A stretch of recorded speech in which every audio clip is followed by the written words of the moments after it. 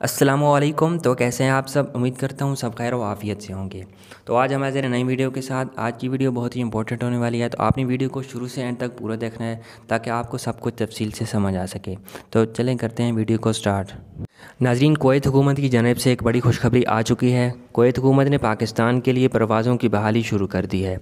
नाजरीन, याद रहे कि कोरोना वायरस के बाद कोत से पाकिस्तान, भारत, मिस्र, बांग्लादेश, श्रीलंका और नेपाल के लिए गुज्त कई माह से परवाज़ें बंद थी, लेकिन नई तफसीत के मुताबिक पाकिस्तानियों के लिए एक बड़ी खुशखबरी आ चुकी है। कोत हुकूमत ने पाकिस्तान, भारत और मिस्र के लिए परवाज़ों का आगाज़ शुरू कर दिया है।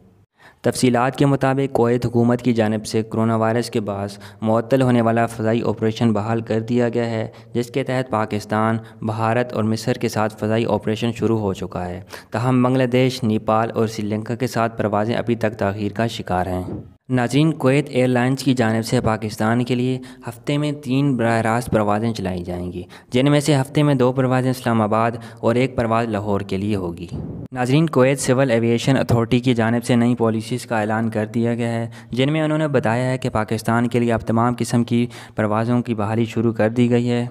नाजरीन, अब बिना किसी तखीर के आप कुवैत के लिए सफ़र कर सकते हैं। तो आज की वीडियो में इतना ही। उम्मीद करता हूँ आपको काफ़ी इन्फॉर्मेशन मिली होगी। इस तरह की मज़ीद इन्फॉर्मेटिव वीडियोज़ देखने के लिए हमारे चैनल को सब्सक्राइब करें और बेल नोटिफिकेशन को ऑन कर दें। तो मिलते हैं नेक्स्ट वीडियो में। तब तक के लिए अपना ख्याल रखिए। अल्लाह हाफिज़।